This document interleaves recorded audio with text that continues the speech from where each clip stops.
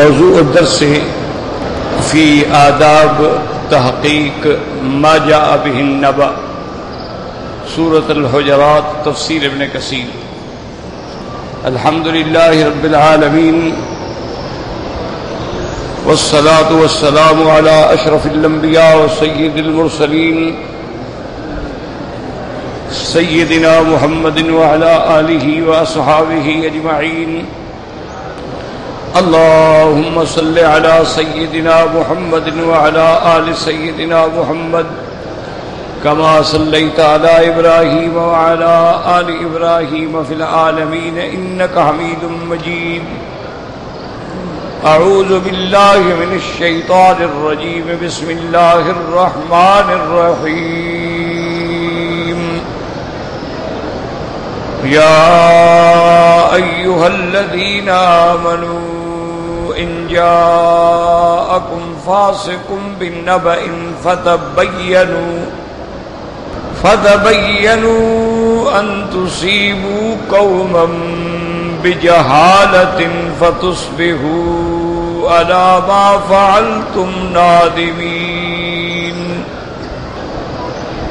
واعلموا أن فيكم رسول الله. لو يطيعكم في كثير من الأمر لعنتم. ولكن الله هبب إليكم الإيمان وزينه في قلوبكم. وكره إليكم الكفر والفسوق والإسيان. أولئك هم الراشدون. فضلا من الله والنعمة والله عليم حكيم. قال المؤلف والمفسر رحمه الله تعالى دام النفع بعلومه وعلومكم في الدارين آمين. إلى أن قال يأمر تعالى بالتصبت في خبر الفاسق ليهتاد له لألا يحكم بقوله فيكون في نفس الأمر كاذبا أو مخطئا فيكون الحاكم بقوله، قد اكتفى وراءه، فقد اكتفى وراءه، وقد نهى الله عز وجل عن اتباع سبيل المفسدين ومنها هنا امتنع طوائف من العلماء من قبول رواية مجهول الحال لاحتمال فسقه في نفس الأمر وقبلها آخرون لأننا إنما أمرنا بالتصبت عند خبر الفاسق وهذا ليس بمحقق الفسق لأنه مجهول الحال وقد كررنا هذه المسألة في كتاب العلم من شرح البخاري ولله تعالى الحمد والمنة اب مفسر رحمت اللہ علیہ ان آیات کی تفسیر میں فرماتے ہیں اللہ پاک حکم دیتے ہیں کہ اگر کوئی فاسق خبر دے تو اس کی خبر کے بارے میں احتیاط کریں، تحقیق کریں، کوئی فوراً فیصلہ نہ کر دیں۔ ہو سکتا ہے کہ وہ نفسل امر میں جھوٹا ہو یا اس سے غلطی ہوئی ہو۔ فیقون الحاکم بقول ہی قد اکتفا ورا اگر حاکم تحقیق نہ کرے اس کی بات پہ چل پڑے تو گویا حاکم نے اس کی اتباع کر لی۔ حالانکہ اللہ پاک نے ہمیں منع کیا ہے کہ سبیل المفسدین پہ ہرگز نہ چلیں۔ اگر مفسدین کوئی بات کریں تو ان کی ہرگز اتباع نہ کریں۔ اس لیے اب مفسر رحمت اللہ علیہ ایک علمی مسئلہ بیان کرتے ہیں کہ اگر سند کے اندر کوئی ایسا راوی آ جائے جس کے بارے میں ہو کہ مجہول الحال یا مفسرین علماء لکھ دیتے ہیں کہ لم یعرف، اس کے بارے میں کوئی خبر نہیں، یا لکھ دیتے ہیں لم یسم، اس کا نام کے بارے میں پتہ نہیں چلا وہ کون ہے۔ تو ایسے آدمی کی بھی روایت جو ہے وہ قبول نہ کی جائے۔ یعنی بعض علماء فرماتے ہیں کہ جب سند میں کوئی ایسا بندہ آ جائے جو مجہول الحال ہے جس کا ہمیں پتہ نہیں، تو اس کی شہادت سند کے اندر جو ہے قبول روایت نہ کی جائے۔ کیوں ہو سکتا ہے کہ وہ فاسق ہو؟ اس لیے ہمیں تو پتہ نہیں چونکہ وہ مجہول الحال ہے۔ لہذا علماء فرماتے ہیں کہ اس کی روایت کو بھی قبول نہ کیا جائے۔ اور اس کے بعد بعض علماء فرماتے ہیں کہ نہیں، ہم روایت قبول کر لیں گے چونکہ وہ مجہول الحال ہے۔ اور اللہ نے ہمیں حکم دیا ہے کہ اگر کوئی فاسق خبر دے تو اعتبار نہ کرو۔ یہاں تو اس کا فسق جو ہے ایک خیال ہے ورنہ ہمیں پتہ تو نہیں نہ کہ وہ فاسق ہو۔ ہو سکتا ہے کہ وہ عابد اور زاہد ہو، لیکن اس کے احوال ہمیں معلوم نہ ہو سکے ہوں۔ تو لہذا بعض علماء اس کی روایت کو قبول فرماتے ہیں کہ وہ مجہول الحال تو ہے، لیکن فاسق نہیں ہے۔ جب تک کہ اس کے فسق کے بارے میں فیصلہ نہ ہو، اس کی روایت کو جو ہے بہرحال قبول کیا جائے گا۔ اب مفسر فرماتی ہیں کہ اس مسئلے میں اگر آپ نے زیادہ تفصیلی بحث پڑھنی ہے، تو میں نے شرح بخاری کے کتاب العلم کے اندر اس کی مفصل بحث لکھ دی ہے۔ فقط ذکر کثیر من المفسرین ان هذه الايه نزلت في الوليد ابن عقبه ابن ابي معيط حين بعث رسول الله صلى الله عليه وسلم على صدقات بن المستلق وقد روى ذلك من طرق ومن احسن ما رواه الامام احمد في مسنده من روايه مالك بن بن المستلق وهو الحارس بن ابي ذرار والد جويريه بنت الحارس ام المؤمنين رضي الله تعالى عنها. اب مفسر رحمت اللہ علیہ فرماتی ہیں کہ بہت سارے مفسرین کرام نے لکھا ہے کہ اس آیت کا سبب نزول جو ہے، شان نزول جو ہے، یہ ولید ابن اقبت ابن ابی معید کے بارے میں نازل ہوئی ہے۔ حضور پاک صلی اللہ علیہ وسلم نے ان کو بھیجا تھا صدقات کے لیے کہ بن المستلق سے جا کے صدقات و زکوٰۃ وصول کریں۔ اب مفسر فرماتا ہے، اس کے بارے میں کئی روایات ہیں۔ کئی روایات ہیں، متعدد طرق ہیں۔ لیکن سب سے صحیح اور زیادہ بہتر صنعت کے ساتھ جو روایت ہے، جس کو امام احمد رحمت اللہ علیہ نے اپنی مسند امام احمد کے اندر ذکر فرمایا ہے، جس کے اندر انہوں نے ذکر فرمایا کہ قصہ بن المستلق کا ہے اور حارث ابن زرار جو ہیں، یہ سردار ہیں قبیلہ بن المستلق کے اور یہ والد ہیں بی بی جویریہ بنت الحارث ام المؤمنین رضی اللہ تعالی عنہ۔ بی بی جویریہ جو ہیں، وہ بی بی ہیں، وہ زوجہ ہیں، وہ امہات المؤمنین ہیں۔ حضور پاک کی بیوی ہیں تو گویا یہ حضور کے سسر بھی ہیں۔ قال الامام احمد، حدثنا محمد بن صابق قال حدثنا عیسیٰ ابن دینار۔ قال حدثني ابي انه سمع الحارث بن ابي ذرار الخزائي رضي الله تعالى عنه يقول قدمت على رسول الله صلى الله عليه وسلم فدعاني الى الاسلام ودخلت فيه واقررت به. فدعاني الى الزكاه فاقررت بها وقلت يا رسول الله صلى الله عليه وسلم ارجع اليهم فادعوهم الى الاسلام فاداء الزكاه فمن استجاب لي جمعت زكاته وترسل الي يا رسول الله رسولا ابن کذا و کذا لیا کا بیما جماعت من الزکات اب امام احمد رحمت اللہ علیہ نے اس روایت سے روایت نقل فرمائی ہے کہ وہ فرماتی ہیں کہ حارث ابن ابی زرار الخزائی فرماتی ہیں کہ میں حضور پاک کی خدمت میں حاضر ہوا۔ فدانی رسول اللہ صلی اللہ علیہ وسلم الاسلام. حضور پاک نے مجھے اسلام کی دعوت دی. فدخل تو بھی واقر تو بھی میں نے اسلام قبول کیا اور میں نے شہادتین کا اقرار کیا. ودانی زکات حضور پاک نے مجھے حکم دیا کہ زکوٰۃ بھی ادا کریں. فقرر تو بھی میں نے اقرار کیا. وقل تو یا رسول اللہ صلی اللہ علیہ وسلم، اور میں نے عرض کیا کہ یا رسول اللہ صلی اللہ علیہ وسلم الاسلام۔ میں اپنے قبیلے میں واپس جانے کے بعد ان کو اسلام کی دعوت دوں گا، اور ان کو زکوٰۃ دینے کے بارے میں بھی دعوت دوں گا۔ فمن استجاب علی جس نے میری دعوت قبول کر لی، اسلام میں داخل ہو گیا، جماعت زکوٰۃ ہو میں زکوٰۃ کٹھی کر کے رکھ لوں گا۔ اور اتنے دنوں کے اندر اندر تقریباً آپ میرے پاس اپنا بندہ بھیجیں ریاتی کا بھی ماں جماعت میں زکات تاکہ جو میں زکوٰۃ اکٹھی کر چکا ہوں وہ لے کر آئے۔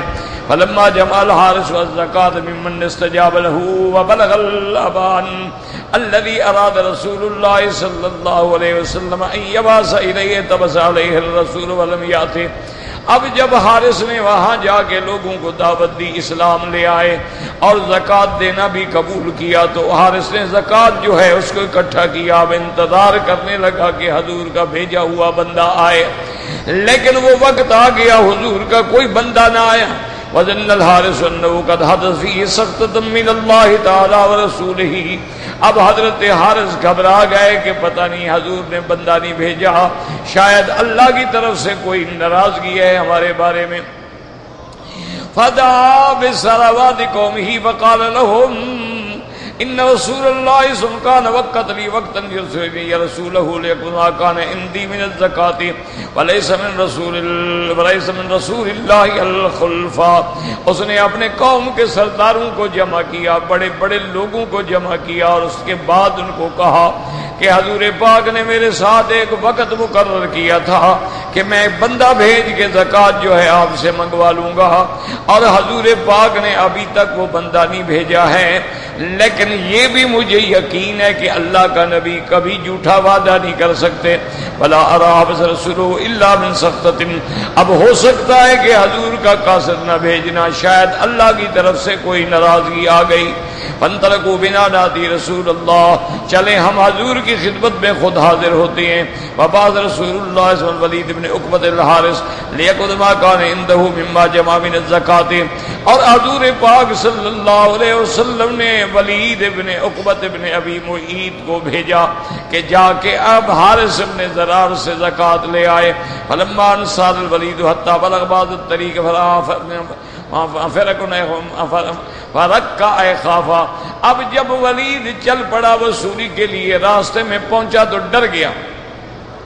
فرجعت تا تا رسول اللہ وقال یا رسول اللہ ان الحارس قد منعني الزکات وراد قتلی اب واپس آ کے حضور کو خبر دی کہ، یا رسول اللہ، صلی اللہ علیہ وسلم حارس ابن زرار نے زکات بھی نہیں دی اور میرے قتل کا بھی ارادہ کیا۔ فقد رسول اللہ صلی اللہ علیہ وسلم، حضور سخت ناراض ہوئے۔ وبعث البعث الى الحارث رضی اللہ تعالی عنہ، اور حضور پاک نے اپنا دستہ فوج کا بھیجا۔ واقبل الحارث باصحابیت تائدا استقبل الباس وفصل عن المدینہ لكم الحارث اب جب حضور صلی اللہ علیہ وسلم کا وہ بھیجا ہوا فوجی دستہ راستے میں تھا کہ حارث سے ملاقات ہو گئی.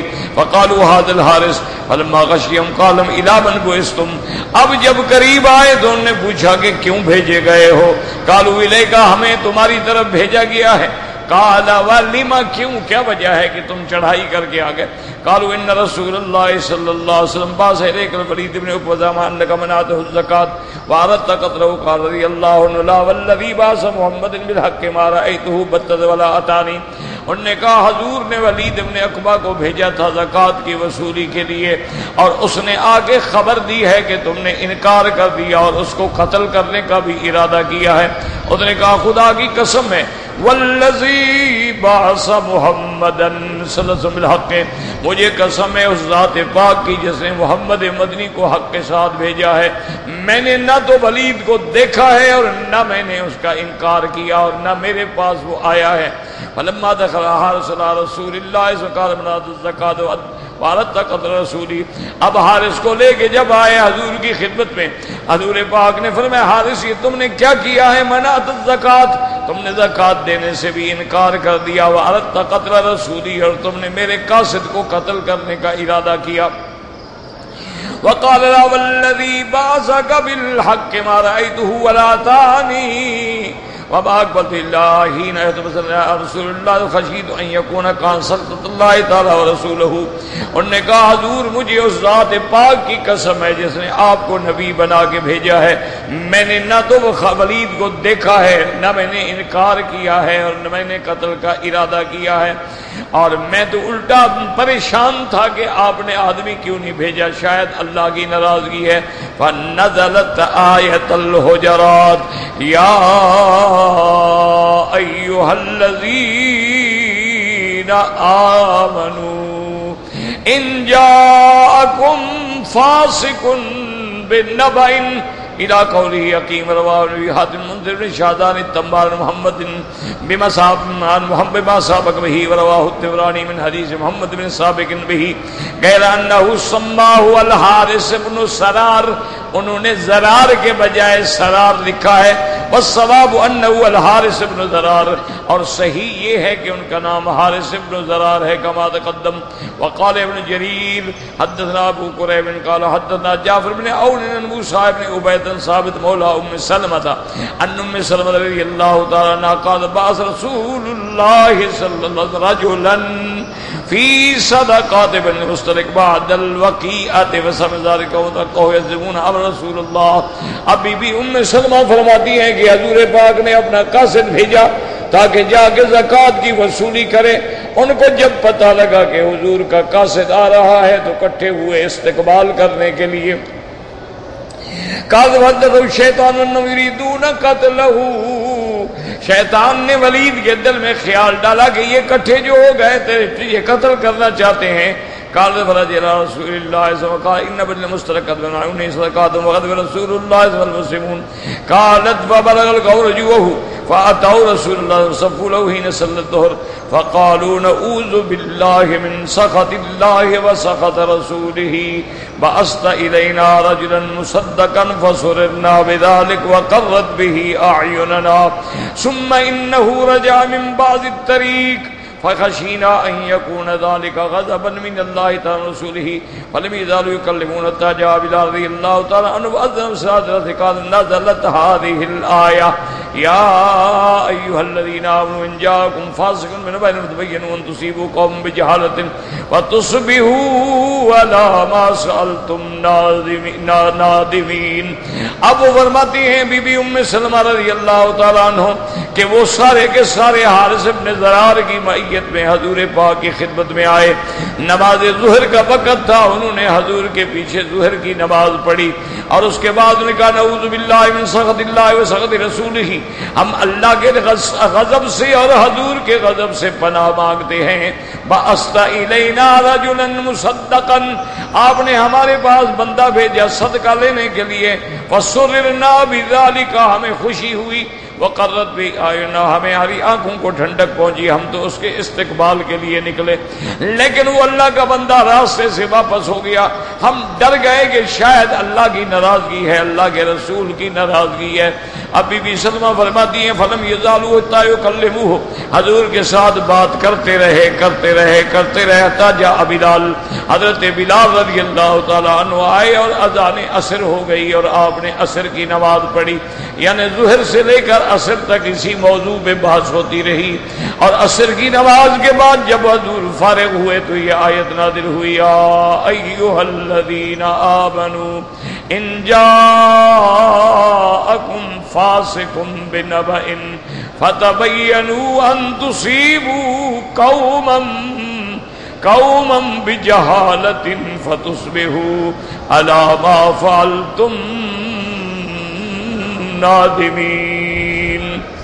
اب گزارش یہ ہے کہ یہ تو روایات ہیں مختلفہ۔ ان آیات میں جو سب سے پہلے بات سمجھنے والی ہے وہ یہ ہے کہ اگر کوئی فاسق آ کے خبر دے اور وہ خبر بھی اہم ہونی چاہیے، عام خبر نہیں، مسئلہ سمجھے مثلا ہم ایک آدمی کے گھر میں جاتے ہیں ملنے کے لیے۔ اجازت مانگتے ہیں، اندر سے ایک آدمی کہتا ہے، وہ کہتا ہے جی گھر والے آپ کو بلا رہے ہیں، اجازت دے دی، آ جائیں۔ تو اب ہم تحقیق نہیں کریں گے کہ یہ بندہ کون ہے۔ اس نے ٹھیک کہا ہے، غلط کہا ہے، پہلے ہم تحقیق کریں، پھر اس یہ معمولی باتیں ہیں، ان میں تحقیق کی کوئی ضرورت نہیں۔ اسی طرح کسی آدمی سے ہم نے کوئی ایسی بات معمولی سی پوچھی، اس نے بتا دی، اس میں بھی تحقیق کی کوئی ضرورت۔ تحقیق کی ضرورت کہاں ہے؟ ان جا گم فاسکن بن نبا نبا یاد رکھو نبا مانا خبر۔ لیکن خبر اور نبا میں فرق ہے۔ ایک بات ہمیشہ یاد رکھیں دماغ میں کہ ویسے تو مانا امبا بنا اخبار نبا بنا خبر۔ اسی لیے نبی کو نبی کہتے ہیں نا، وہ اللہ باغ کے احکام کی خبر دیتے ہیں۔ لیکن علماء فرماتے ہیں کہ خبر میں اور نبا میں ایک فرق ہے۔ خبر تو بڑی بھی ہو سکتی ہے، چھوٹی بھی ہو سکتی ہے، اہم بھی ہو سکتی ہے، غیر اہم بھی ہو سکتی لیکن جب نبا کا لفظ آئے گا تو لازمی بات ہے کہ وہ بڑی کوئی اہم خبر ہو۔ جیسے فرماتے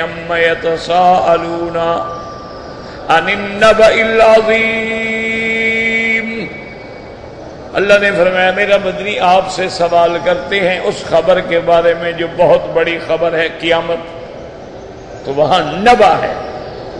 اسی طرح اللہ فرماتے ذالک من انباء الغیب۔ میرا مدنی پاک رحمت دو عالم، یہ غیب کی اہم خبریں ہیں جو ہم آپ کی طرف واہی کرتے ہیں، یہ کوئی عام بات نہیں ہے۔ اسی طرح اللہ فرماتے ہیں، قل هو النبأ عظیم یہ بہت بڑی خبر ہے۔ تو نبا کا معنی ہوگا اہم خبر کہ جب کوئی آدمی کوئی بہت بڑی اہم خبر دے جس پر عمل کرنے سے آگے کسی کے نقصان کا اندیشہ ہے، تو ایسی خبر پہ ہم فوراً عمل نہیں کریں گے، تحقیق کریں۔ گے اور یہ بھی ساتھ بات یاد رکھیں کہ خبر دینے والا اگر فاسق ہے، اگر خبر دینے والا عادل ہے، صادق ہے، امین ہے، تو پھر وہاں بھی تحقیق کی ضرورت نہیں ہوتی، وہ تو بندہ ہے ہی صادق۔ اس کی ایک مثال احادیث میں موجود ہے کہ میرے آقا رحمت دو جہاں سیدنا محمد مصطفیٰ صلی اللہ علیہ وعلا آلہ و وسلم عدد کل ذرت الف الف مرت آپ اسی صفا کی پہاڑی پہ کھڑے ہوئے اور آپ نے سارے قبائل قریش کو آواز دے کے بلایا۔ یا معاشرہ قریش، یا معاشرہ بنی ہاشم تمام کو بلانے کے بعد اور جب حضور نے بڑی اونچی آواز سے آواز دی تو سارے بھاگ کے جمع ہو گئے۔ حضور صلی اللہ علیہ وسلم کے پاس آ گئے۔ ان میں ابھی جہل بھی ہے، ابھی لہب بھی ہے اتبا اتبا بھی ہے شہبہ ربیہ بھی ہے، ولید ابن المغیرہ بھی ہے اکبت ابن ابھی محیط بھی ہے، امیت ابن خلف بھی ہے۔ سارے بڑے بڑے جو اس وقت کے ستون تھے نا جی سردار تھے، عبائد تھے، وہ سارے آ گئے۔ اور ان نے آگے حیران ہو کے پوچھا کہ محمد صلی اللہ خیر تو ہے، کیا بات ہے؟ آپ نے فرمایا، اگر میں تم لوگوں کو یہ خبر دوں کہ اس جبل صفا کے پیچھے میں تمہارے دشمن کی فوج پہنچ گئی ہے، وہ تم پہ حملہ کرنا چاہتی ہے، تم کو مٹانا چاہتی ہے، تو کیا حل تو سدے کیا تم میری بات مان لو گے مجھے سچا سمجھو گے کہ ٹھیک ہے؟ کہ اتنی بڑی خبر دوں کہ پہاڑ کے پیچھے فوج چھپی ہے۔ انہوں نے کہا کہ یا محمد صلی اللہ علیہ وسلم بالکل ہم مان لیں۔ گے اگر آپ فرمائیں گے تو آپ کے فرمانے کو ہم مان لیں گے، کیونکہ ماں جربنا کا اللہ صادقن عادلہ ہماری جو زندگی کا تجربہ ہے، چالیس سال آپ نے ہمارے اندر گزارے ہیں، تو ہم نے آپ کو ہمیشہ سچ بولنے والا، عدل کرنے والا، امانت پالنے والا اور حقیقت بیان کرنے والا پایا ہے، تو ہم آپ پر کیوں شک کریں گے؟ آپ تو سچے ہیں۔ یہ دشمن اقرار کر رہا ہے کہ محمد مصطفیٰ سچا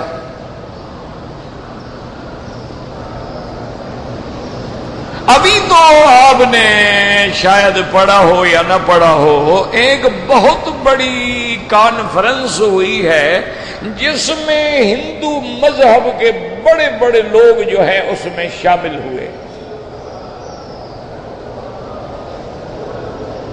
اور ہندوؤں کی چونکہ کئی قسمیں ہیں کئی ذاتیں ہیں ان میں جو بڑے بڑے لوگ ہوتے ہیں نا وہ پنڈت ہیں، برہمن ہیں، کھتری ہیں، پھر نیچے تک آ جاتا ہے، شودر وادر ہے ان کو تو وہ نہیں مانتے نا شودر کو۔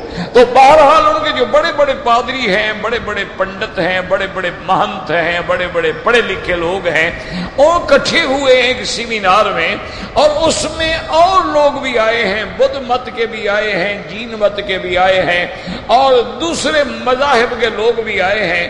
بحث اس بات پہ ہوئی ہے کہ بھئی ہماری کتابوں میں ایک پیشین گوئی ملتی ہے کہ ایک سردار آئے گا، کال کی اوتار اس کا نام ہوگا۔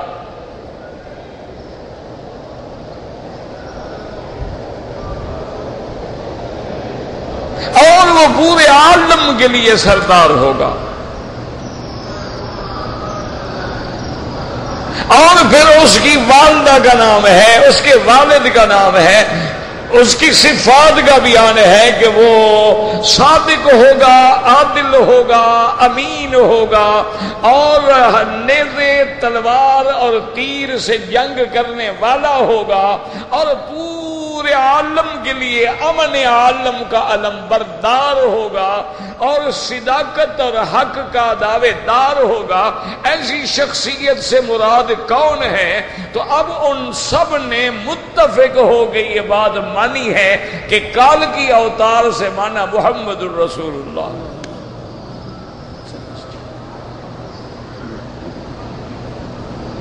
اور انہوں نے کہا کہ اس کی والدہ کا نام بھی آمنہ ہے، ہماری کتابوں میں بھی یہی نام ہے، لیکن سنسکرت میں ہے مانا یہی ہے امن والی۔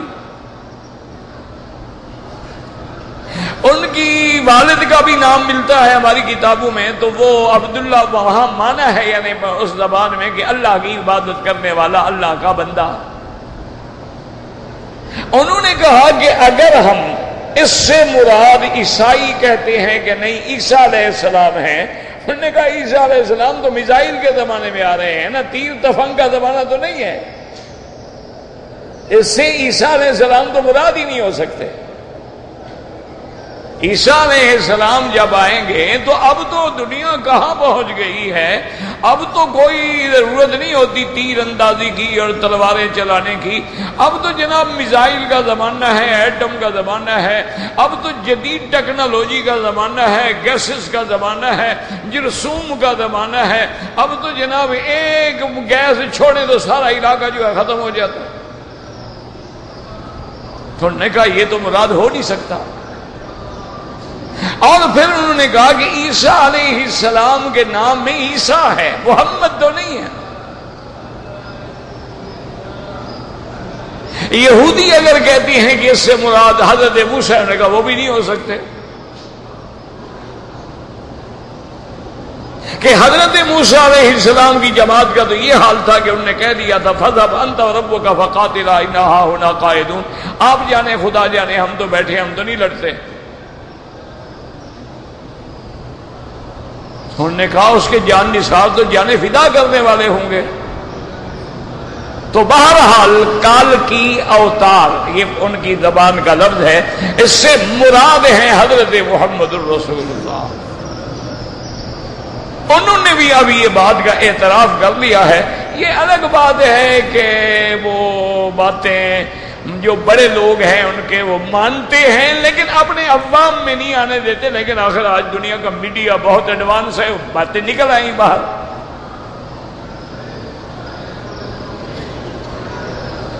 کیونکہ یہ ہندو جو ہندو جو دھرم ہے نا، یہ بھی بڑا پرانا دھرم ہے۔ یہ دیکھیں، یہ وہی سامری کی نسل ہے۔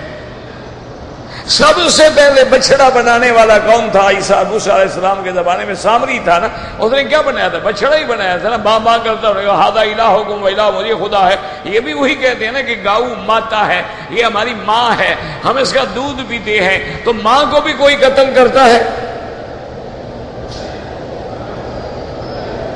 تو دودھ تو تم بکری کا بھی پیتے ہو، پھر بکری کو کیوں قتل کرتے ہو؟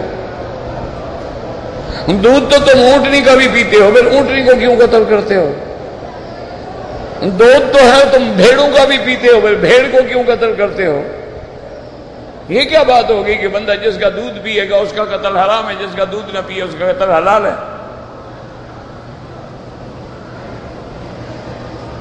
دودھ تو تم وہ خنزیر کا بھی پیتے ہو سورنی کا بھی پیتے ہو۔ یہ کوئی دلیل نہیں، لیکن یہ ہے وہی مسئلہ۔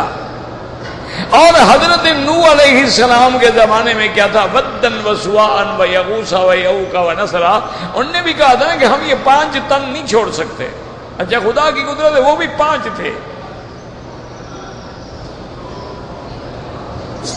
وہی آج تک مسئلہ چلا رہا ہے نا، پانچ تن۔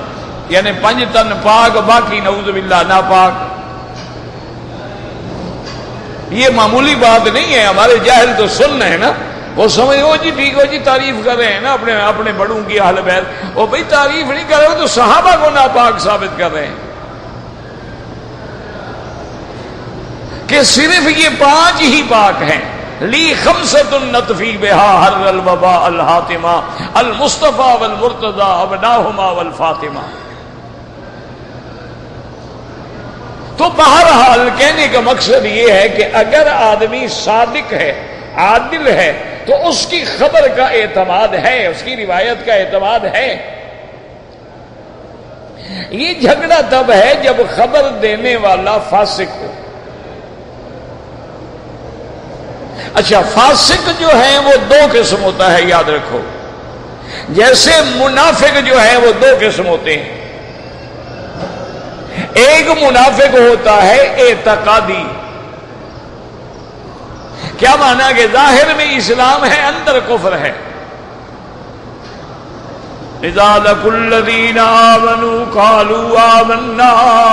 جب ایمان والوں کے پاس آتی ہیں کہتی ہم مومن ہیں، ایمان والے ہیں۔ وَإِذَا خَلَوْا إِلَىٰ شَيَاطِينِهِمْ قَالُوا إِنَّا مَعَكُمْ إِنَّمَا نَحْنُ مُسْتَهْزِئُونَ اور جب اپنے کافر اپنے شیطانوں کے پاس جاتے ہیں، کہتے ہیں، ہم تو تمہارے ساتھ ہیں، ہم تو ٹھٹھا کر رہے ہیں، مخول کر رہے ہیں، مسلمانوں کو دھوکہ دے رہے ہیں۔ یہ منافق ہے، یہ اعتقادی منافق اذا جاءك المنافقون قالوا نشهد انك لرسول الله. والله يعلم انك لرسوله. والله يشهد ان المنافقين لكاذبون. اللہ نے فرمایا میرا مدنی جب آپ کے پاس آتے ہیں منافق اور کہتے ہیں، ہم گواہی دیتے ہیں کہ آپ اللہ کے رسول ہیں۔ اللہ تو جانتے ہیں کہ آپ میرے رسول ہیں، لیکن اللہ گواہی دیتا ہے، یہ منافق ہیں، یہ جھوٹے ہیں، یہ آپ کی رسالت پر ایمان نہیں لاتے، میری توحید پر ایمان نہیں لے آتے۔ یہ ظاہر میں اسلام ہے، لیکن باطن کے اندر کفر ہے۔ یاد رکھو، یہ منافق ہے عقیدے کا اعتقادی۔ اور آج ہم کسی کو منافع کے اعتقادی نہیں کہہ سکتے۔ کیوں؟ کہ اللہ کے نبی کو تو اللہ نے خبر دے دی، ہمیں کیا پتا؟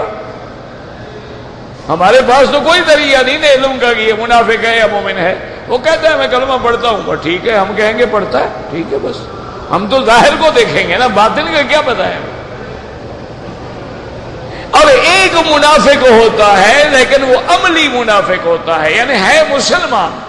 لیکن عمل وہ کرتا ہے جو منافقوں کے ہوتے ہیں، اس کو ہم کافر نہیں کہیں گے۔ لیکن منافق عملی ہوگا، جیسے حضور پاک نے رحمت دو جان فرمایا، آیت المنافق سنا سنی حدث کذب و اذا اخلف و اذا تو مینا خانہ۔ حضور نے فرمایا، منافق کی تین نشانیاں ہیں۔ جب بات کرے تو جھوٹی کرے، وعدہ کرے تو جھوٹا کرے، امانت رکھو تو خیانت کرے۔ سمجھو کہ یہ منافق ہے۔ اور دوسری حدیث میں حضور نے ایک اور زیادہ لفظ بھی فرمایا۔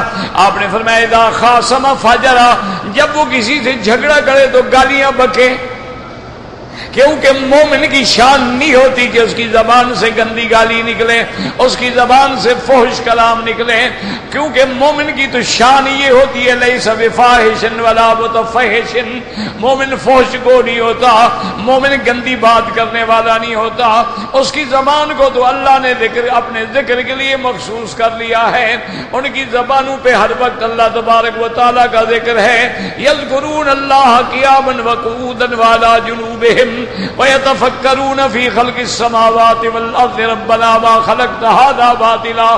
وہ اگر کھڑے ہیں تو ذکر ہے، بیٹھے ہیں تو ذکر ہے، لیٹے ہیں تو ذکر ہے، ہر حال میں ذکر ہے، ہر حال میں اللہ تبارک و تعالی کی قدرت میں فکر ہے۔ یاد رکھو تو یہ منافق عملی ہوگا، اعتقادی نہیں ہوگا۔ اسی طرح سمجھ رہے یہاں ایک فاسق عقیدے کا ہوتا ہے، کیا مانا کافر ہے؟ اس کو بھی فاسق کہا جاتا ہے۔ کافر کو بھی فاسق کہا جاتا ہے۔ جیسے کافر کو ظالمین بھی کہا گیا ہے، کافر کو فاسقین بھی کہا گیا ہے۔ اللہ نے ابلیس کو بھی فاسق کہا ہے۔ کان من الجن ففسقان امر ربی کہ ابلیس جو ہے وہ جنات میں سے تھا اور اللہ کے حکم کو توڑ کے حد توڑ کے نکلنے والوں میں تھا، اس لیے اس کو بھی فاسق کہا گیا۔ تو ایک فاسق عقیدے کا فاسق ہے اور ایک فاسق جو ہے وہ عمل کا فاسق ہے۔ فرق سمجھو۔ عقیدے کا فاسق ہے، کیا مانا کافر ہے؟ مشرق ہے، فاسق ہے۔ لیکن ایک بات کا فرق جانو اگر کوئی فاسق عقیدے کا ہے، کافر ہے، لیکن بندہ سچا ہے، تو اس کی بات ہم قبول کریں گے۔ یعنی ہے وہ کافر، لیکن جھوٹ نہیں بولتا۔ یعنی اندازہ کرو نا، کافر جو ہیں، وہ بھی جھوٹ بولنے سے شرماتے تھے۔ ابو سفیان کہتا ہے کہ جب ہرکل نے مجھ سے حضور کے بارے میں پوچھا اور اپنے دربار میں بلا کے ابو سفیان اس وقت کافر تھے انہوں نے پوچھا کہ محمد الرسول اللہ کو آپ جانتے ہیں؟ میں نے کہا، ہمارے قبیلے سے ہیں اور میرے ابن ام ہیں، میرے بھتیجے ہیں۔ اس نے کہا، کیا خیال ہے؟ آپ سچ بولتے ہیں؟ انہوں نے کہا بالکل سچ بولتے ہیں۔ انہوں نے کہا، دیا دیانت میں نے کہا دیانت دار ہیں، انہوں نے کہا امانت میں نے کہا امانت دار ہیں۔ انہوں نے کہا اچھا یہ بتاؤ، اس ان کے ساتھ جو بندے ملتے ہیں، وہ قائم رہتے ہیں یا ٹوٹ جاتے ہیں؟ میں نے کہا نہیں، جو ان کے ساتھ مل جاتے ہیں، وہ کبھی نہیں ٹوٹتے ہیں۔ اب بادشاہ نے پوچھا کہ اچھا آخری بات بتا دو، محمد الرسول اللہ صلی اللہ علیہ وسلم جو معاہدہ کریں، جو وعدہ کریں، جو عہد کریں، وہ پورا کرتے ہیں یا توڑ دیتے ہیں؟ ابو سفیان کہنے لگا، مجھے خیال آ گیا دل میں کہ موقع ہے کہ میں جھوٹ بولوں؟ کیوں؟ یہ تو میں ساری تعریف کر رہا ہوں۔ بادشاہ تو الٹا متاثر ہو رہا ہے حضور پاک سے۔ تو مجھے موقع تھا کہ میں جھوٹ بولوں، لیکن پھر میں نے سوچا کہ جھوٹ بولوں تو قیامت تک لوگ میرے خاندان کو تانا دیں گے کہ تمہارے ابا نے جھوٹ بولا تھا۔ جھوٹ سے کافر بھی ڈرتا تھا۔ آج تو سب سے بڑا لیڈر بھی ہوتا ہے جو سب سے بڑا جھوٹا ہو۔ جو جھوٹ نہ بول سکے نا، وہ تو لیڈر بن ہی نہیں سکتا۔ اسی لیے وہ کتاب پرنس جو ہے نا، ان کے ہمیشہ سرانے کے نیچے ہوتی ہے۔ وہ کہتے ہیں، ذاتی معاملات میں جھوٹ نہ بولیں، لیکن پارٹی معاملات میں اور ملکی معاملات میں جہاں مفاد ہو، بالکل جھوٹ بولیں۔ وہ تو ان کے پروٹوکول میں شامل ہے جھوٹ بولنا۔ اب دیکھیں، ابو سفیان کہتا ہے، میں نے جھوٹ بولنے کی ضرورت تو نہ کی، البتہ میں نے اتنی بات کی۔ میں نے کہا کہ ہرا کر بادشاہ سلامت، ان کا میں ہمارا ابھی ابھی ایک معاہدہ ہوا ہے، سلو ہوئی ہے دس سال کے لیے۔ پتہ نہیں وہ معاہدہ پورا کرتے ہیں یا معاہدہ پورا نہیں کرتے، چونکہ ابھی ابھی معاہدہ ہوا ہے۔ ابو سفیان کہتے واللہ، میں دل میں کہہ رہا تھا، یہ بھی میں جھوٹ بول رہا ہوں، مجھے یقین تھا کہ محمد وعدہ پورا کریں گے۔ صلی اللہ علیہ وسلم۔ یعنی کافر ہے، ابو سفیان ہے، کافر ہے۔ ابو جہل طواف کر رہا ہے کابت اللہ کے اندر۔ ایک قبیلے کا سردار ہے، اس کے ہاتھ میں ہاتھ ڈالے ہوئے ہیں۔ اور سردار نے پوچھا کہ ابا جہل، وہ تو نہیں کہتے تھے ابھی جہل، وہ تو اب حکم کہتے تھے اس کو۔ وہ تو بڑا آدمی تھا نا، یہ تو ہم کہتے ہیں نا ابھی جہل۔ تو بہرحال اس نے کہا کہ ابھی جہل، مجھے یہ بتاؤ، میں نے سنا ہے کہ مکے میں ایک نبی پیدا ہوا ہے، جس کا نام محمد الرسول اللہ ہے۔ محمد ابن عبداللہ ہے، آپ جانتے ہیں۔ خود نے کہا عجیب بات کرے ہم نہیں جانتے تو کون جانتا ہے؟ میں نے اس نے پوچھا کہ ابھی جہال اچھا مجھے یہ بتاؤ کہ محمد مصطفیٰ نے جو نبوت کا دعویٰ کیا ہے کہ میں اللہ کا رسول ہوں، اللہ نے مجھے رسول بنا کے بھیجا ہے، مجھ پہ وحی نازل ہوتی ہے۔ کیا وہ سچ کہتا ہے یا جھوٹ بولتا ہے؟ ابو جہل کہتا ہے، میں نے بڑا سوچا کہ ایک تو طواف کر رہا ہوں، کعبے میں ہوں، کیسے جھوٹ بولوں؟ یعنی کعبہ شریف میں جھوٹ بولتے ہوئے ابو جہل کو بھی حیا آتی ہے، مسلمان فخر سے جھوٹ بولتا ہے۔ دوسروں کو بیویوں کو اپنی بیوی بنا کے ویزے لگوا کے لے آتا ہے، آیا عمرے پہ ہے۔ غیر محرم کو محرم بنا کے سبحان اللہ، لبیک پڑھ رہے ہیں ماشاء اللہ ابو جہل ہے۔ وہ کہتے ہیں، میں سوچ رہا ہوں۔ پھر کہتے ہیں، ایسے یمین شمال دائیں بائیں دیکھا کہ اور کوئی بندہ تو نہیں، یہ میری بات سن لے گا۔ تو کہتا ہے، میں اور کوئی بندہ نہیں تھا۔ تو اس نے اس سردار سے کہا کہ دیکھو، سچی بات پوچھو تو واللہ ان محمد اللہ صادق محمد مصطفیٰ سچ کہتا ہے۔ یہ گواہی دینے والا کون ہے؟ ابو جہل ہے جناب۔ یہ مولوی نہیں۔ ابو جال کہہ رہا ہے، واللہ لصادقن خدا کی قسم ہے، وہ سچ کہتا ہے۔ اب آگے بھی سردار تھا، سمجھدار تھا۔ اس نے کہا، ابو جال اگر وہ سچ کہتا ہے تو پھر تم لوگ کیوں نہیں مان لیتے ہو؟ جب کہتے ہو وہ سچا ہے، وہ نبی ہے، اس پر ایمان لے آؤ، مان لو، جھگڑے ختم کرو، یہ رات دن کی لڑائی کیا ہے؟ ابو جال کہنے لگا، بات سنو، وہ نبی سچا ہے۔ لیکن منا امیر و منہ امیر منا وزیر۔ وزیر اصل میں ان کے اور ہمارے خاندان کا مقابلہ ہے۔ کبھی وہ مکے کے سردار بنتے ہیں، کبھی ہم سردار بنتے ہیں۔ کبھی سکایا جو ہے ان کے ہاتھ میں ہوتی ہے، کبھی ہمارے ہاتھ میں ہوتی ہے۔ کبھی رفادہ جو ہے ان کے ہاتھ میں ہوتی ہے، کبھی ہمارے ہاتھ میں ہوتی ہے۔ اب اللہ نے ان کو تو نبوت دے دی ہے۔ ہم نبی تو بن نہیں سکتے، تو ہمارا مقابلہ ہے، اس لیے ہم مانیں گے کبھی نہیں۔ لیکن وہ بھی کہہ رہا ہے کہ ان محمد صادق تو یاد رکھو، جس بندے کا صدق واضح ہو، اس کی روایت قبول کی جائے گی۔ یہ جھگڑا اس پر ہے جو فاسق ہے۔ اور فاسق اگر اعتقاد کا ہے، مثلا کافر ہے، لیکن ایک بات کہہ رہا ہے، اور اس کو ہم سمجھتے ہیں کہ ایسی بات کہنے میں کسی جھوٹ بولنے کی ضرورت ہی نہیں، ہم مان لیں گے۔ بہت ساری باتیں ہوتی ہیں نا، کافر لکھتے ہیں، اتنی سچی بات لکھتے ہیں کہ آدمی حیران ہوتا ہے۔ بلکہ آج کل تو آدمی حیران ہوتا ہے اس حوادث کے دور میں، جتنی کافر کتابیں سچی لکھ رہے ہیں، مسلمان نہیں لکھتے۔ ہیں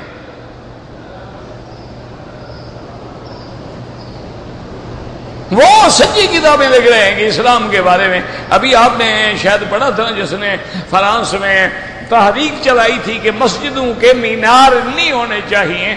یہ بلا وجہ علامت ہے اور دوسرے مذہب والوں کو تکلیف پہنچتی ہے اور دوسرے مسلمانوں کو مذہب کے لوگوں کو پنچ کرتا ہے۔ مینار دیکھو مسلمانوں کا مینار ہو مسلمانوں کا مینار۔ ایک ہے تو علامت توحید ہے اور چار ہے تو خلفاء راشدین کی طرف اشارہ ہے اور دو ہے تو اللہ اور اللہ کے رسول کی طرف اشارہ ہے۔ تو یہ چیزیں باعث تکلیف ہیں۔ وہ تحریک چلائی اس نے کہ تمام مساجد کے مینار گرا دیے جائیں، اسی اسنا میں وہ کتابیں بھی پڑھتا رہا، قرآن بھی پڑھتا رہا، اسلام بھی پڑھتا رہا، نتیجہ یہ نکلا کہ تحریک چلاتے چلاتے خود مسلمان ہو گیا۔ سچ تو سچ ہے نا۔ اب اس نے ساری بات کھل کے بتا دی، اس نے کہا بس میں تو اپنے جذبات میں اندھا تھا، حقیقت یہ ہے کہ مذہب اسلام سچ ہے۔ اگر ہمیں سلیب کی علامت لگانے کا حق ہے، اگر ہمیں ہلال احمد کی علامت لگانے کا حق ہے، اگر ہمیں بگ بین کی علامت لگانے کا حق ہے، اگر ہمیں پارلیمنٹ کے لیے علامت رکھنے کا حق ہے، اگر ہمیں اپنے سکولوں کے لیے ایک خاص ڈیزائن رکھنے کا حق ہے، اگر ہمیں اپنے چرچ اور مندر اور گرجے کے لیے ایک خاص ڈیزائن پر مکان بنانے کا حق ہے، تو مسلمانوں کو کیوں آ کریں؟ اب وہ الٹا اسلام کے لیے تحریک چلا رہا ہے۔ اس لیے ہمیشہ یاد رکھیں کہ اگر خبر دینے والا فاسق ہے، فاسق کا کیا مانا عملی فاسق ہے۔ عملی فاسق کا کیا مانا مرتکب گناہ کبیرہ ہے۔ ایک آدمی ہے شرابی ہے، سب جانتے ہیں شرابی ہے۔ ایک آدمی ہے زانی ہے، کھلا اس کا معروف ہے کہ جی یہ تو زانی ہے، یہ تو ہر وقت زنا میں رہتا ہے۔ مانا فاسق ہے۔ اسی طرح علماء کہتے ہیں، جو آدمی بار بار داڑھی مڈواتا ہے، وہ بھی فاسق ہے۔ کہ پہلی دفعہ داڑھی مڈانا جو ہے، گناہ صغیرہ تھا۔ لیکن صغیرہ پر اصرار کرنے سے وہ گناہ کبیرہ ہو گیا، اب وہ صغیرہ نہیں رہا۔ اس لیے فقہا کہتے ہیں کہ داڑھی مڈانے والا اذان بھی نہ دے اور امام بھی نہ بنے، کیونکہ امام ان کو ہونا چاہیے۔ فلی امکم عالم حکم کتاب اللہ حضور نے فرمایا اپنا امام ان کو بناؤ جن کو قرآن و حدیث کا علم ہو۔ فلی امکم اکراؤکم اس کو امام بناؤ جو بہترین قرآن کا قاری ہو۔ اگر دونوں عالم میں دونوں کاری ہیں، فرمایا فلی امکم اکبر منکم سنن اس کو امام بناؤ جو عمر میں زیادہ ہو تاکہ اس کا احترام ہو مقتدی کے دل کے اندر۔ تو وہاں بھی یہ شرط ہے۔ تو اب جب وہ ایک گناہ پہ اصرار کر رہا ہے تو وہ فاسق ہو گیا لہذا وہ کیسے امام بنے لوگوں کا؟ اس لیے یہ ہے کہ اگر کوئی فاسق خبر لائے اور خبر بھی مہم ہو، اب حکم کیا ہے؟ فتح بھائی تحقیق کرو تصبتو تاکہ بغیر تحقیق کے ایسا نہ ہو کہ تم کسی قوم پہ ٹوٹ پڑو۔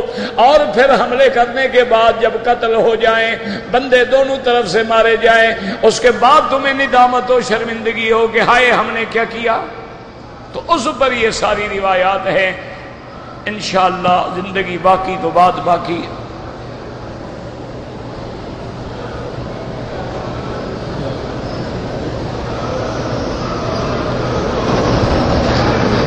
میں نے عمرہ کرنے آیا، جدے گیا، مکہ مکرمہ آگے طواف کرنے کے بعد طائف گیا۔ پھر میکات والی مسجد میں مغرب کی نماز پڑھ کے واپس مکہ مکرمہ کے راستے جدے گیا۔ ہمارا ارادہ عمرے کرنے کا نہیں تھا۔ عمرہ کرنے آیا، عمرہ نہیں کیا۔ تو آپ نے جو مسجد سے کیا ہے، وہ عمرہ تو ہوگا۔ ایک تو میکات کا نہیں ہوگا اور ایک آپ پہ دم پڑ گئی، آپ کو اپنے ملک سے احرام باندھ کے آنا تھا۔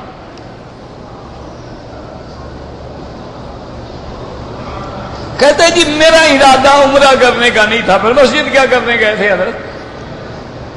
تمہارا تو ارادہ ہی نہیں تھا عمرے کا۔ پھر مسجد سے عمرہ کیوں کیا تم نے؟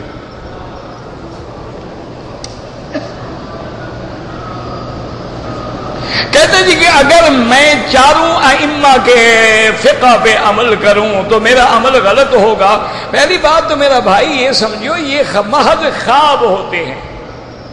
اب قرآن کی سات گراتے ہیں۔ تم کتنی گراتوں پڑھتے ہو؟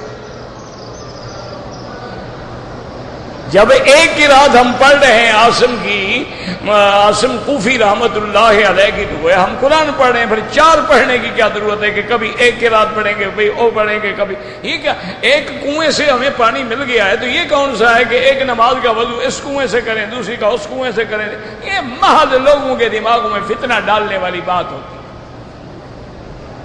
اور اگر تمہارا علم اتنا وسیع ہو گیا ہے کہ ائمہ اربا کے دلائل تمہیں آتے ہیں، پھر تمہیں کسی کی تقلید کرنے کی ضرورت ہی نہیں ہے، تم خود مجھتے ہے تو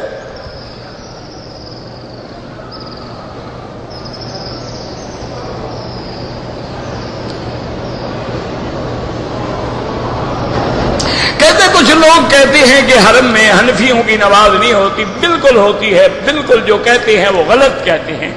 حنفی علماء کے جو بڑے بڑے لوگ گزرے ہیں، حضرت گنگوہی رحمت اللہ علیہ یعنی رشید احمد گنگوہی رحمت اللہ علیہ جو بڑے علماء میں گزرے ہیں اور فقہ میں جن کا ایک بہت بڑا مقام تھا، ان سے کچھ لوگوں نے سوال کیا کہ مکہ مکرمہ میں عصر کی نماز جو ہے، وہ حنفی مسلک کے مطابق تو ابھی ظہر کا وقت ہوتا ہے۔ اور یہ حضرات جو ہیں اول وقت میں پڑھتے ہیں تو انہوں نے فرمایا کہ بالکل حرم کی نماز نہ چھوڑے چاہے تمہیں اپنے مسلک کو چھوڑنا پڑے، لیکن حرم کی جماعت نہ چھوڑو۔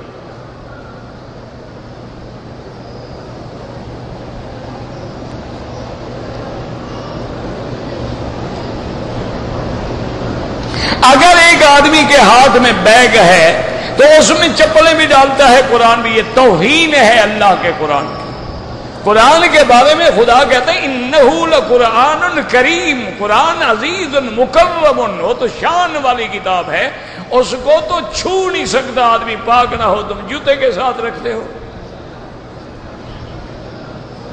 اللہ ہدایت دے اور کیا کر سکتے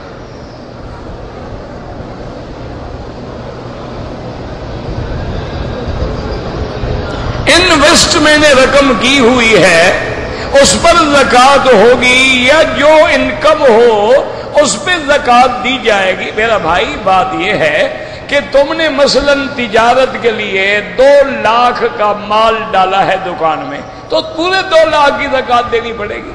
یہ تھوڑا ہے کہ اس مال کی زکات نہیں ہوگی۔ پورا مال جو ہے سب پہ زکات۔ ماں باپ کو زکات نہیں دی جا سکتی، کیونکہ ایسا نلائق اولاد اچھی پیدا ہوئی ہے کہ جو میل ہے وہ ماں باپ کو کھلانا چاہتا ہے۔ انت مالو کا لے ابھی کا حضور نے فرمایا، تم اور تمہارا مال تمہارے ماں باپ کا ہے۔ ان کو حق ہے کہ تمہاری ساری جائیداد اٹھا لیں۔ ان کو تم زکات دینا چاہتے ہو۔ بڑا بدبخت بیٹا ہے بھائی۔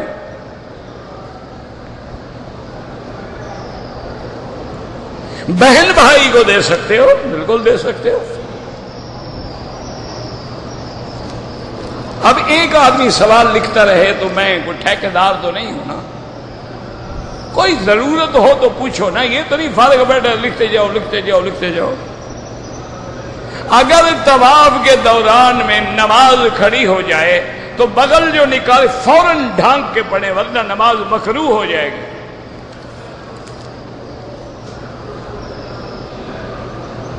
اگر مکے میں رہتے ہوئے سلام نہیں حضور پاک میں پڑھے جاتے، درود پڑھا جاتا ہے اور درود اللہ پہنچاتے ہیں۔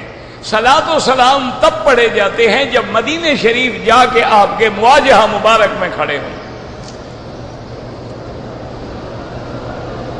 جمعہ کے خطبے میں ہم ثواف کریں، بالکل نہیں، جمعہ کا خطبہ سننا واجب ہے، آرام سے بیٹھو اور سنو۔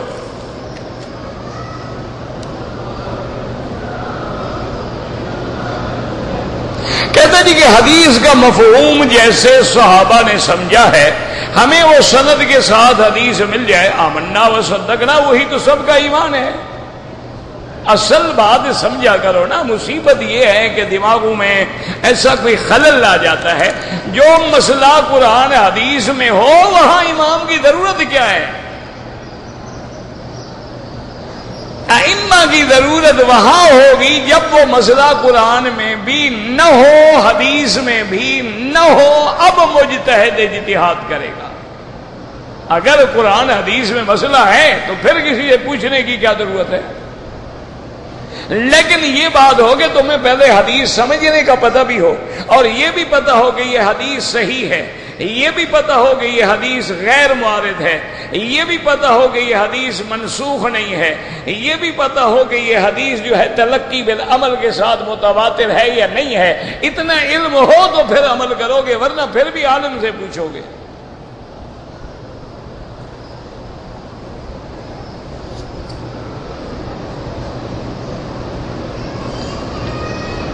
کہتے جی کہ ہم ہندوستان میں جو مسلمان رہتے ہیں وہ ووٹ ووٹنگ وغیرہ میں بعض اوقات ہندوؤں کو ووٹ دیتے ہیں ووٹ دینا کون سا اسلام کا حکم ہے؟ وہ بھی تو کافروں کی جمہوریت ہے۔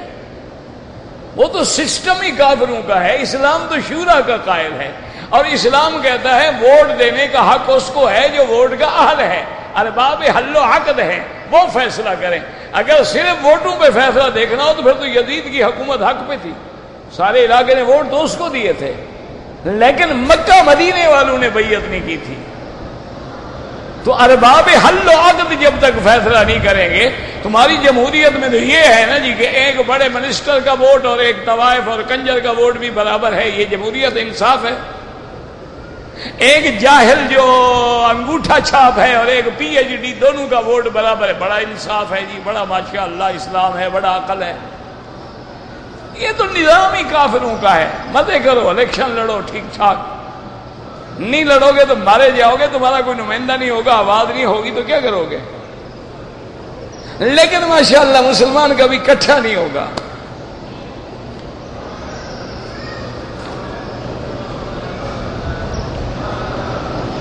میں نے رکن یمانی پہ بسم اللہ اللہ اکبر نہیں کہا، کچھ بھی نہیں ہوتا۔ یہاں پر جو لوگ ویڈیو میں فلمیں بناتے ہیں بالکل حرام ہے۔ عورتیں اگر اپنی بلڈنگ میں نماز پڑھیں تو ان کو ایک لاکھ کا اجر ملے گا، بالکل بلکہ زیادہ اجر ملے گا۔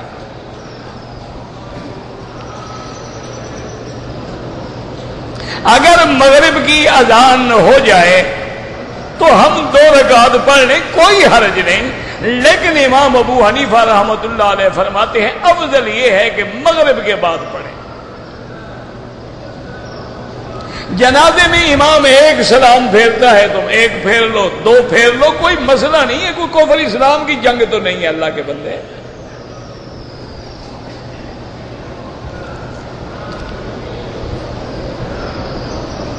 میرے کان پہ بال ہیں، کاٹ سکتے ہیں، بالکل کاٹ سکتے ہیں، داڑھی تو نہیں ہوتی نا کان پہ۔ داڑھی کٹانا حرام ہے نا؟ باقی بالوں کے کٹوانے کا کیا حرج ہے؟ دعا کے لیے کتنا ہاتھ اٹھائے، حضور نے اتنا بھی اٹھایا ہے کہ بغلوں کی سفیدی بھی نظر آ گئی۔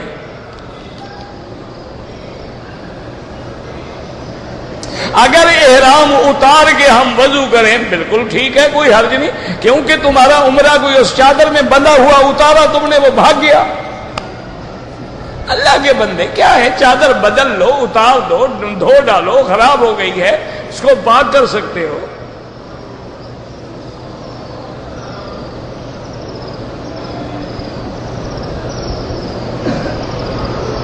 کہتے جی کہ کیبل دکھاتے ہیں کہ مدینہ شریف میں میلاد ہو رہا ہے، کیبل پہ تو سب کچھ دکھایا جا سکتا ہے۔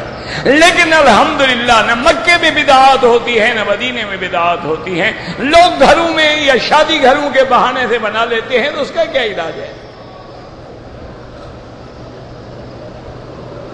جو لوگ حضور کے نام پہ انگوٹھے چومتے ہیں، وہ اپنے آپ کو چومتے ہیں، اس کا حضور سے کوئی تعلق نہیں۔ حضور کا حکم یہ ہے کہ جب میرا نام آئے درو شریف پڑھو۔ میں نے گاڑی قسطوں پہ لی ہے، نقد قیمت بیس ہزار ہے، قسطوں پہ تیس ہے، وہ جائز ہے۔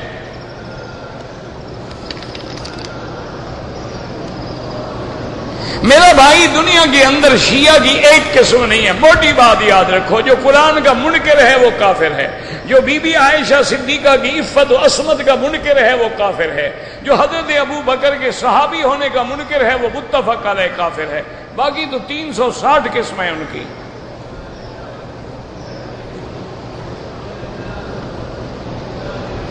اگر کوئی غریب لڑکا ہے یا غریب لڑکی ہے ان کی شادی میں زکات کے پیسے دے کے مدد کریں، بالکل کریں۔ اگر کوئی بندہ قرض دار ہے، اس کے قرضے اتارنے میں، لیکن طریقہ یہ ہوتا ہے، آپ وہ پیسے اس کو دے دیں، وہ مالک بن جائے۔ پھر اس کو چاہیے وہ اپنا قرضہ اتارے۔ یہ نہیں کہ تم کہو، میں تمہارا قرضہ دے دیتا ہوں، پھر زکات ادا نہیں ہوگی۔ زکات میں دے کر تملیغ کرنا، اس کو مالک بنانا ضروری ہے